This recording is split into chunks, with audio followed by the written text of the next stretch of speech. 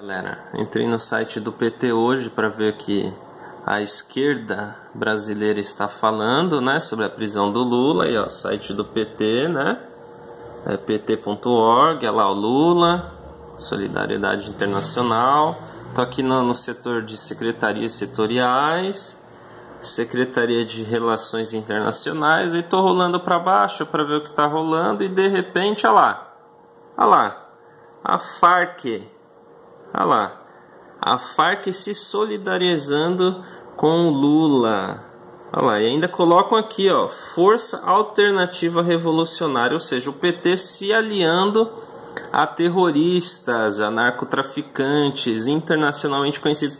E ainda tentam iludir as pessoas, olha lá, Força Alternativa. Quando a gente coloca aqui no Google, ó, qualquer lugar que a gente coloca, olha lá, a FARC não é Forças Alternativas, são Forças Armadas Revolucionárias da Colômbia, lá no Wikipedia, né? Olha lá, Brasil Escola, que mais? É o país, né? Mundo Educação, ou seja, além de eles se aliarem com a FARC, aqui no, no próprio site deles, se aliando com terroristas, ainda tentam influenciar a população mentindo. Ou seja, mais uma que o PT apronta, se aliando a terroristas, a narcotraficantes.